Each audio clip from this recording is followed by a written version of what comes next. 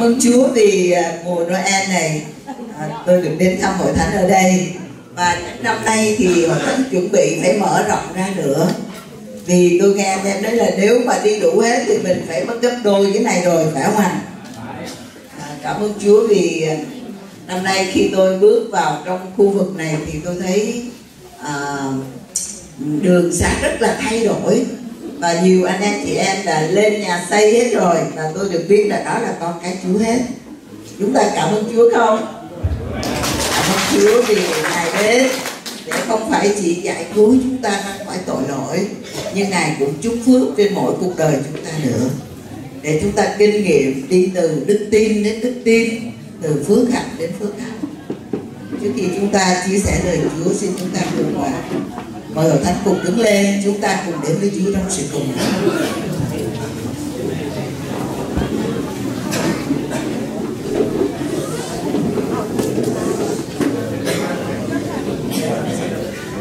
Xin mời chúng ta tự do đến với Chúa. Tự do đến với Ngài.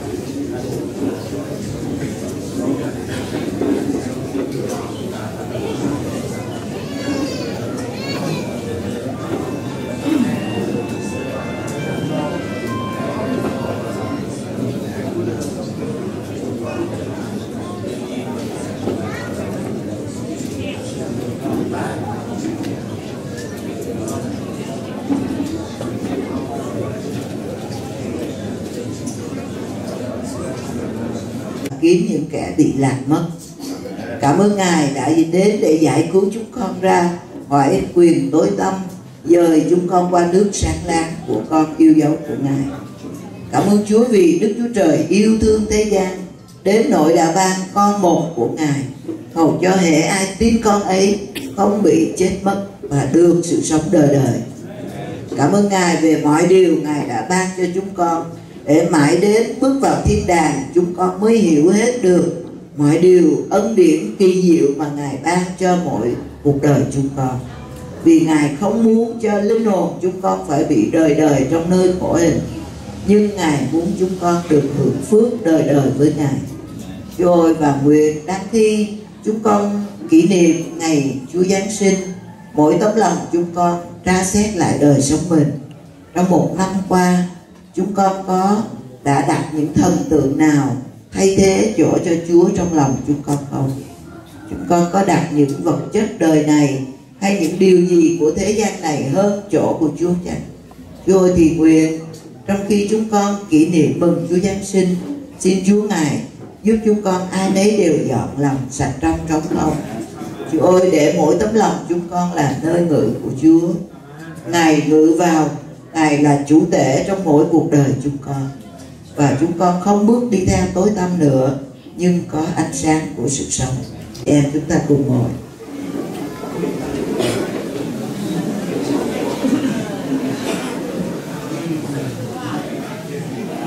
À, Cảm ơn Chúa lắm Vì khi nãy chúng ta nhìn thấy các ban múa rất là đẹp phải không ạ? À? à, Mỗi anh em chị em chúng ta đều có tấm lòng để chuẩn bị để mừng Chúa Giáng sinh và bất cứ điều gì mà chúng ta vì cớ ngài, vì cớ lòng yêu mến ngài mà chúng ta làm, thì chúa ngài ghi hết vì chúa hứa chúng ta là nếu chúng ta trung tín trong một việc nhỏ, thì ngài cũng ban phước cho chúng ta thêm các việc lớn. Và có nhiều khi chúng ta làm những điều nào mà không ai thấy, nhưng mà chúa thấy. Và nếu chúng ta làm mà con người thấy, thì con người sẽ khen chúng ta và chúng ta mất phần thưởng tại con người khen rồi. Nhưng mà có những điều chúng ta làm cho Chúa, làm cho anh em mình mà không ai thấy hết. Nhưng mà Chúa ghi và Chúa ban thưởng cho chúng ta. Vậy ông bà, chị em muốn mình làm cho Chúa thấy hay muốn làm cho loài người thấy? Loài người hay Chúa thấy? Chúa thấy. Phần thưởng thiên đàng tốt hơn là những lời khen ngợi của con người. Amen không ạ? à?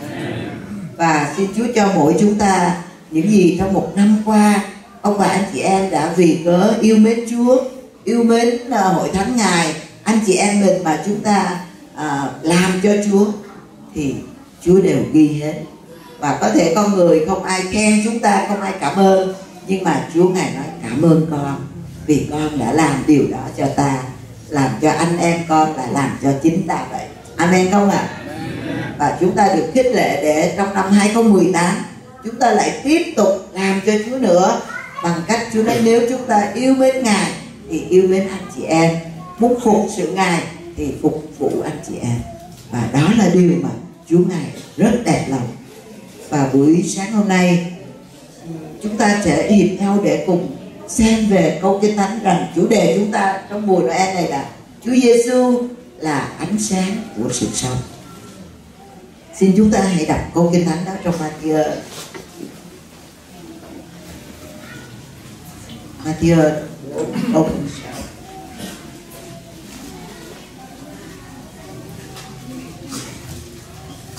Matthew 4 câu 16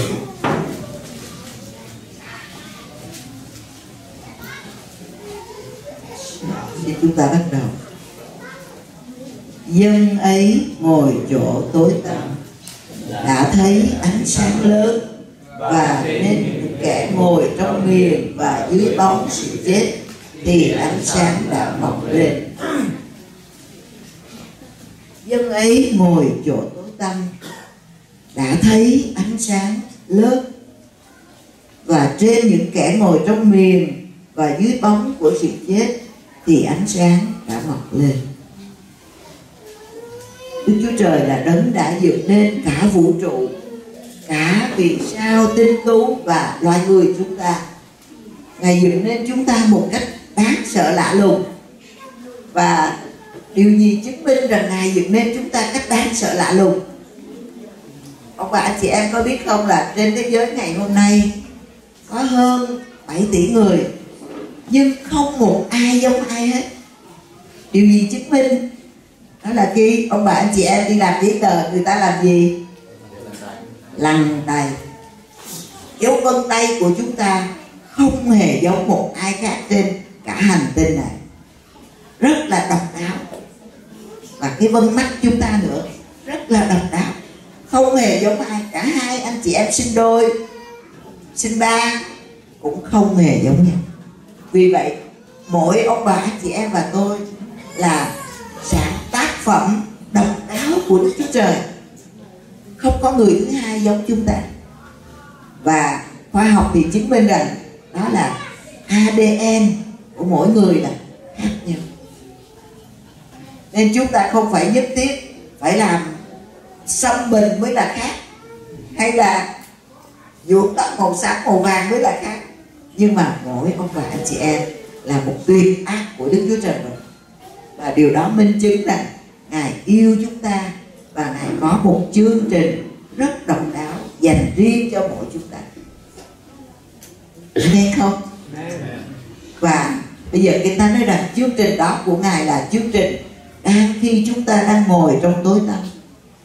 Khi tổ phụ chúng ta phạm tội, Adam, Eva phạm tội, thì Kinh Thánh nói rằng bởi một người phạm tội mà tội lỗi đã tràn lan hết cả nhân loại.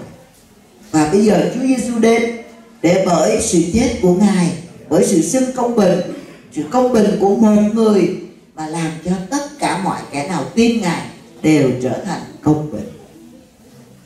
Và Đức Chúa Trời, Ngài là đấng công bình, Ngài phải phạt tội lỗi. Nhưng Chúa Giêsu đã đến để gánh thay tội của mỗi ông bà, chị em và tôi, cả nhân loại hơn 7 tỷ người. Và Ngài đã chết, Ngài đã sống lại và bây giờ chúng ta rao báo tin tức tốt lành. Chúa Giêsu đã đến, đã chết, đã sống lại. Và hệ ai đi tiếp Ngài thì không bị chết mất. Nhưng được sự sống đời đời đó là tin tức tốt lành mà chúng ta kinh nghiệm và chúng ta có thể rao báo cho bất cứ người nào chúng ta gặp. Ông bà, anh chị em ơi, đã biết về tin tức tốt lành chưa? Đó là có một đấng yêu chúng ta đã lấy huyết ngài rửa sạch mọi tội chúng ta. Danh của ngài là Chúa Giêsu Christ. Ngài là ánh sáng lớn. Kinh Thánh nói rằng, dân đi trong nơi tối tăm đã thấy ánh sáng lớn. Ánh sáng này không phải một ánh sáng nhỏ, mà đây là một ánh sáng vĩ đại. Ánh sáng khiến cho cả nhân loại trong tối tăm khi nhìn thấy ngài thì nhận biết ngài và tin cậy ngài thì kinh nghiệm một sự cứu rỗi lớn lao và ở đây kinh thánh nói rằng, dân đi trong nơi tối tăm đã thấy ánh sáng lớn và trên những kẻ ngồi trong miền và dưới bóng sự chết thì ánh sáng đã ngọc lên. Nếu chúng ta tưởng tượng một đêm mà bị tắt đèn, cúp điện chúng ta thấy rất khó chịu, phải không? Nhưng mà khi chúng ta thấy có điện rồi thì mọi người như thế nào? La lên và nói, ô, có điện rồi. Ta vui mừng. Và đó chỉ là cái ánh sáng tạm. Nhưng ánh sáng mà Chúa dựng nên lớn hơn nữa là ánh sáng mặt trời. Chúng ta tưởng tượng một ngày nào mà chúng ta thức dậy, mặt trời không mọc lên nữa. Chúng ta thấy kinh khủng không? Và không phải một ngày, hai ngày, ba ngày, một tuần lễ, một tháng, một năm không có ánh mặt trời, chúng ta thấy như thế nào? Loài người sẽ chết cây cối sẽ chết. Tất cả con vật sẽ chết. Ở trên thế giới này có một nơi mà chỉ có ánh sáng 6 tháng à, và rồi bóng tối 6 tháng. Đó là nơi vùng bắc cực. Bắc cực và nam cực. Thì ánh sáng chiếu đến đó. Không hết cả năm như chúng ta là những người ở vùng gần xích đạo ở vùng cách xa bắc cực nam cực. Tôi đã đến những cái nơi mà vùng mà ánh sáng họ ít trong mùa đông, thì 8 giờ sáng đi làm vẫn còn tối. 4 giờ chiều đi làm đi làm về vẫn còn tối. Vậy thì họ đấy lúc đi làm cũng tối, lúc về nhà cũng tối. Và mùa đông kéo dài, có thể là từ tháng 11 kéo dài đến gần tháng 3 cuối tháng 3 rất là dài. Và trong mùa đông đó thì ai cũng thấy buồn rồi. Và người các bác sĩ khám rằng những con người ở tại mùa đông thì họ chỉ hay thấy chán nản, hay bị trầm cảm, buồn rầu lắm. Nhưng mà khi ánh sáng đến thì người ta vui mừng. Một ngày đẹp trời, ông bà chị em và tôi thấy vui mừng. Mình hăng hái muốn hoạt động, muốn làm cái này, làm cái kia, muốn giặt đồ, muốn phơi đồ, muốn làm mọi thứ. Nhưng một ngày mùa đông không có, ánh sáng ảm đạm, chúng ta chỉ ngồi trong nhà lạnh quá. Và nếu con người không có ánh sáng của Chúa, ánh sáng tự nhiên, thì con người chết. Cây cối chết. Và chúng ta nhìn thấy thế nào? Mỗi khi ánh sáng đến, thì cây cối nảy nở lên. Ánh sáng đem lại sự sống. Nếu chúng ta đi những vùng cao nguyên này, chúng ta thấy có những nơi người ta trồng những cái cây mà thanh long hay cái gì, cả buổi tối họ cũng thắp đèn luôn để làm gì? Để cho cây cối nó tưởng vẫn là ban ngày và nó cứ tiếp tục sinh sản, tiếp tục lớn lên. Không có buổi tối. Người ta vẫn tắt đèn buổi sáng. Buổi tối và thấy sáng trưng lên vậy. Vì có ánh sáng thì cây cối nó tăng trưởng. Tăng trưởng nhanh lên. Còn nếu mà bóng tối đến thì nó chậm lại. Đó là với ánh sáng tự nhiên. Nhưng mà với đức chúa trời chúng ta thì ngài ban cho chúng ta ánh sáng thiên thượng đó chính là chúa giêsu christ. Mà một câu kinh thánh khác ở trong văn nói rằng Chúa nói rằng Đức Chúa ở trong văn đoạn 8 câu 12 Chúa nói rằng Đức Chúa Giêsu lại cất tiếng phán cùng chúng rằng Ta là sự sáng của thế gian. Người nào theo ta chẳng đi trong nơi tối tăm Nhưng có ánh sáng của sự sống. Ồ, Chúa Giêsu khi Ngài đến thế giới này Chúa công bố rằng Ngài chính là sự sáng của thế gian. Và bây giờ, người nào theo Ngài? Ồ, cái chữ người nào này có nghĩa là gì? Không phải Chúa là ánh sáng đến thế giới này Và mọi người được sáng đâu. Nhưng mà Chúa nói là Người nào theo ta? Bất cứ một người nào quyết định theo Ngài Thì không ở trong nơi tối tăm nữa, Nhưng có ánh sáng của sự sống. Ông bà, anh chị em đã quyết định theo ngài chưa? Đã quyết định chưa? Ai quyết định rồi? Thế các phụ nữ chưa quyết định thì phải. Các chị em phụ nữ có quyết định theo chúa chưa? Giờ tôi hỏi lại nhé à chúa nói rằng ta là sự sáng của trần gian. Người nào theo ta thì không đi trong nơi tối tăm nữa nhưng mà có ánh sáng của sự sống. Rõ ràng không các bạn chị em? Rất rõ. Vậy thì ai ở đây đã quyết định theo Chúa Giêsu rồi? À, à cảm ơn Chúa. Là Chúa nhìn thấy à? Vì Chúa nói rằng chúng ta không thể nói rằng ô Chúa ơi ba con là mục sư cho nên tự nhiên là con có ánh sáng. Có đúng vậy không? Không rồi chúng ta nói, ô, ông chú, con là mục sư, hay là anh con tin Chúa? Rồi tự nhiên là con có ánh sáng của Ngài, có không? Không. Vì Chúa nói đặt linh hồn cha cũng như linh hồn con. Linh hồn nào phạm tội thì linh hồn đó sẽ chết.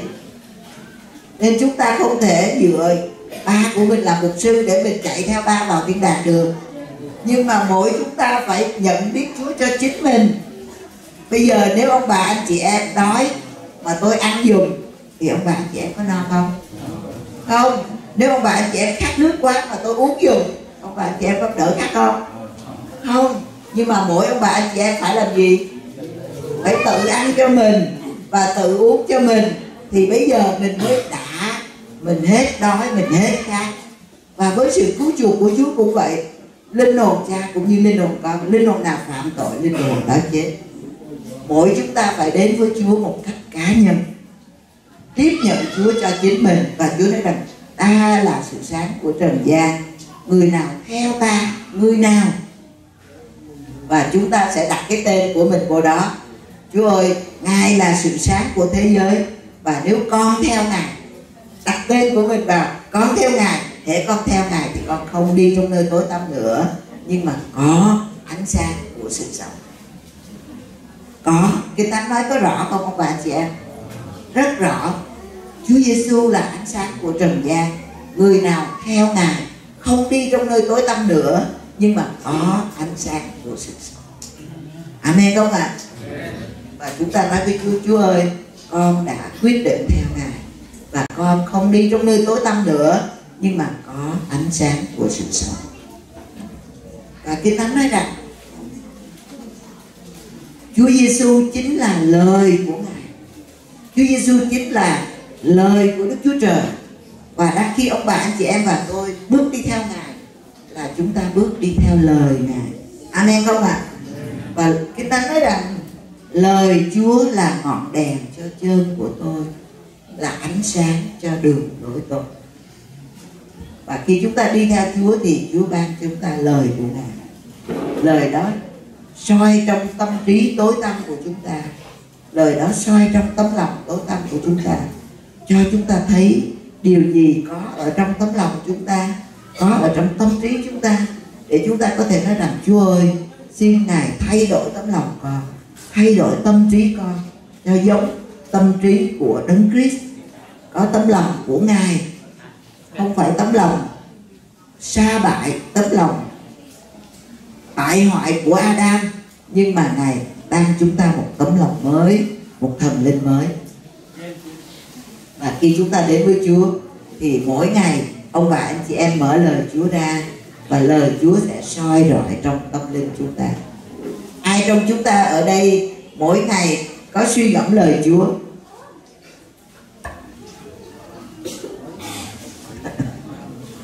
Ít thôi nếu chúng ta không có lời Chúa là ngọn đèn thì chúng ta đi trong nơi tối tăm rồi. Đúng không? Bây giờ muốn chúng ta có ánh sáng của Chúa, lời Chúa là ngọn đèn. Nên mỗi ngày chúng ta phải đến với ngọn đèn của Chúa. Lời Chúa là ngọn đèn cho chân tôi, ánh sáng cho đường lối tôi. Mỗi ngày chúng ta đừng có bận thâu cà phê, thâu tiêu, thâu mọi thứ. Chúng ta quên đi trong ánh sáng là chúng ta đi trong nơi tối tăm nhưng mỗi ngày chúng ta đều cần ánh sáng mặt trời thế nào thì mỗi ngày chúng ta đều cần ánh sáng của lời Chúa mỗi ngày để soi rọi trong tâm linh chúng ta, tâm trí tấm lòng chúng ta để chúng ta có thể bước theo nào anh em không ạ? À? Chúa cho chúng ta quyền tự do quyết định. Chúa nói chúng ta rằng, đây là con đường sự sống, đây là con đường sự chết. Con chọn đi có ai trong chúng ta chọn con đường sự chết không? Không. Chúng ta sẽ chọn con đường sự sống.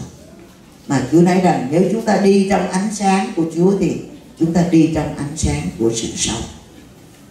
Ánh sáng của sự sống.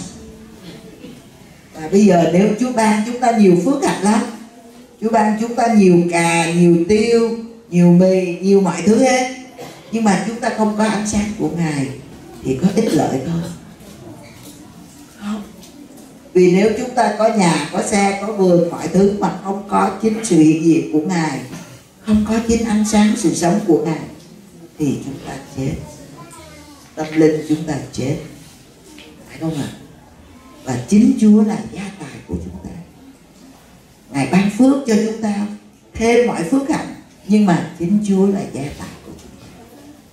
Và khi chúa gọi chúng ta, thì chúng ta có đem theo vườn tiêu, vườn cà vườn mì đi với chúng ta không? Có không? Nói nhỏ quá vậy. Có không? Không. Nhưng mà chúng ta đem cái gì để đi để trình diện chúa đây? Chính linh hồn chúng ta trình diện chúa. Và cùng với những linh hồn mà chúng ta đã dẫn đem về với chúa.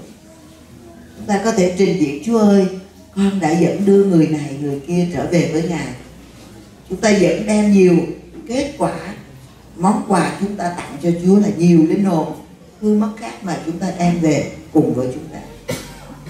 Còn cà cũng bỏ lại phê, à, tiêu cũng bỏ lại mì cũng bỏ lại xe honda cái gì x gì đó cũng biết nữa nó cũng rất là bỏ lại hết.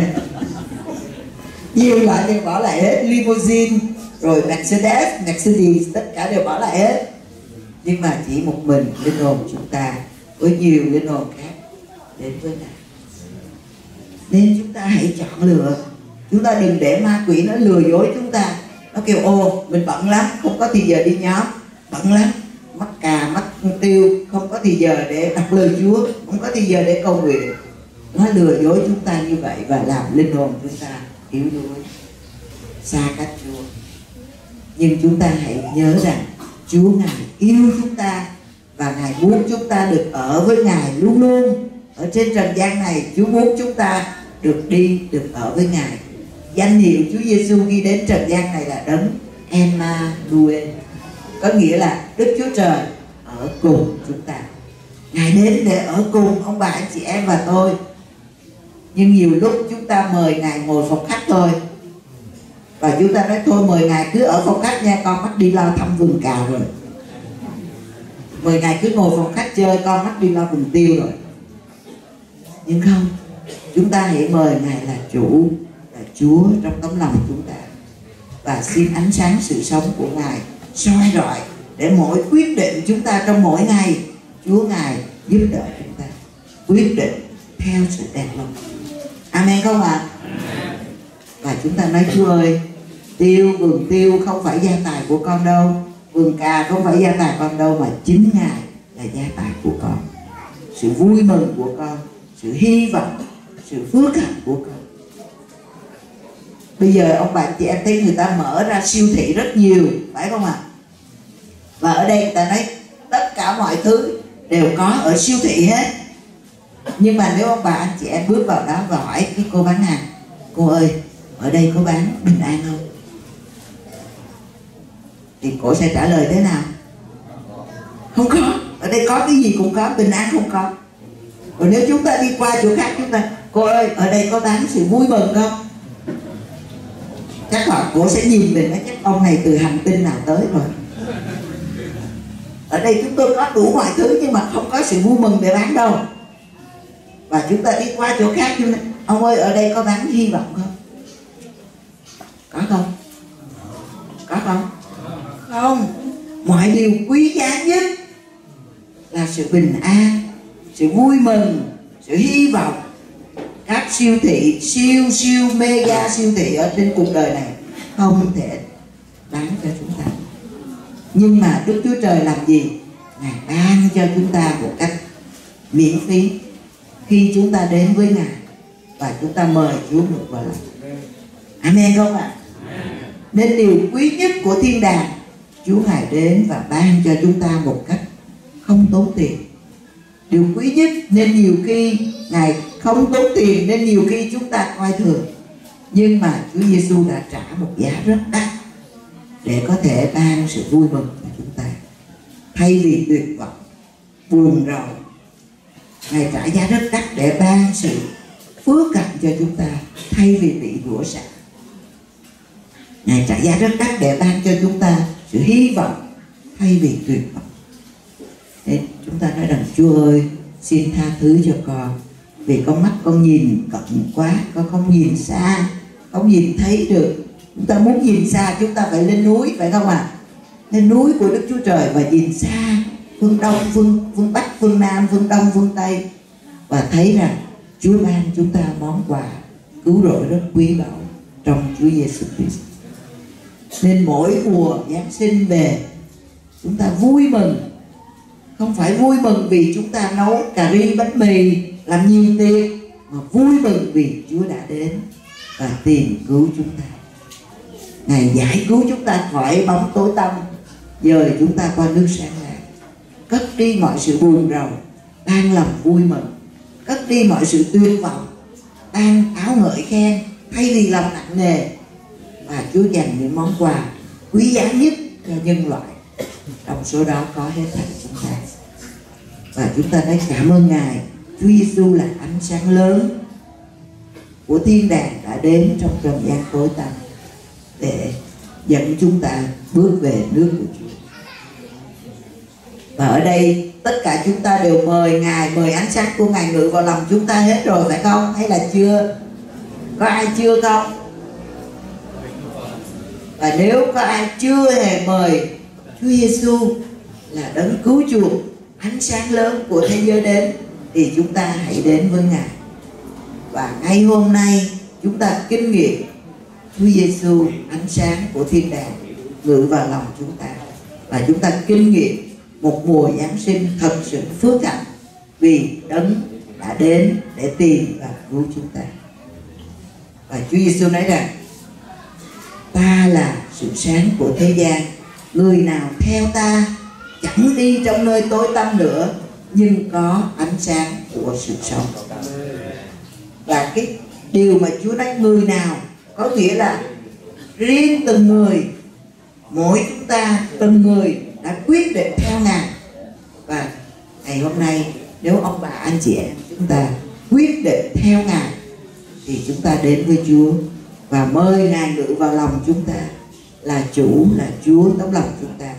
Và ngài là đấng ban chúng ta ánh sáng của sự sống. Và mỗi ngày, ông bà anh chị em chúng ta đều có lời của ngài để Chúa soi dẫn trong khi chúng ta bước đi thế giới tối tăm này, để chúng ta biết phải làm gì, phải đi đâu, phải làm gì nhờ bởi lời sự sống của ngài. Và điều này vô cùng quan trọng vì sao? Chúa nói rằng trời đất sẽ qua đi, nhưng mà lời của ta sẽ không bao giờ qua. Thế giới này sẽ có tiếng vang rồng mà qua đi. Trên đất, mọi công trình trên đất sẽ bị lửa, tiêu cháy. Nhưng mà lời của ngài đến cùng chúng ta không bao giờ qua. Vậy thì chúng ta có cần phải đầu tư vô lời chúa không? Nếu chúng ta chỉ dành thì giờ đầu tư vô vườn cà, vườn tiêu, vườn mì không thôi, thì chúng ta đã đầu tư cho lửa đó. Vì lời chúa nói sao? Đất và mọi công trình trên nó đều phó cho lửa hết. Nên nếu Chúa cho chúng ta đủ ăn, đủ mặc, Chúa chúc phước cho chúng ta được có nhà, có xe, chúng ta cảm ơn Ngài. Nhưng đừng bao giờ đặt cà hay tiêu hay là mì là ông vua, nhưng luôn luôn hãy đặt Chúa Giêsu là chủ của chúng ta. Amen không ạ? À? Ngài là chủ của chúng ta? Mọi điều khác chỉ là phước hạnh Ngài ban mà thôi. Chúng ta phải đặt thứ tự cho đúng.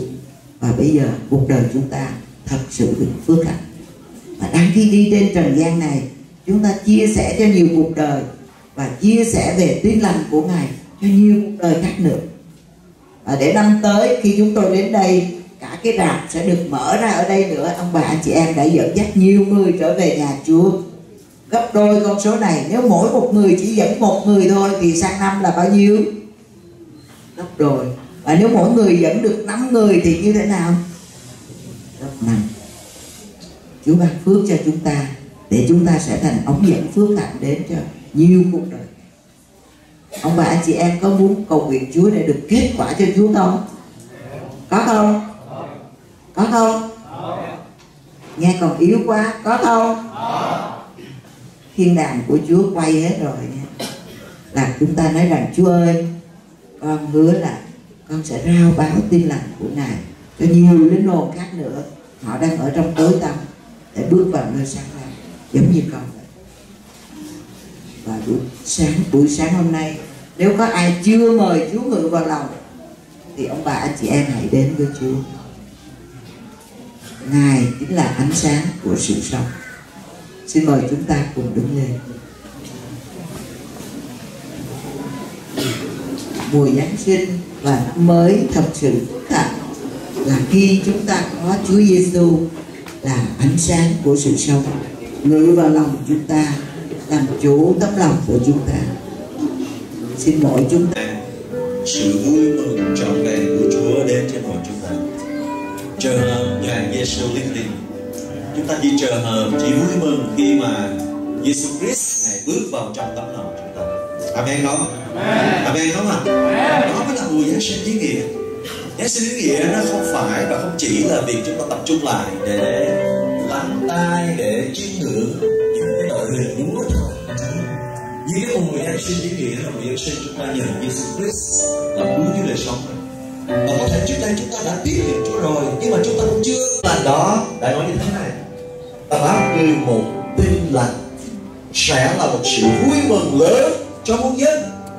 Ấy là hôm nay là ta biết đã sẽ cho ngươi một đấng cứu thế là Christ là Chúa.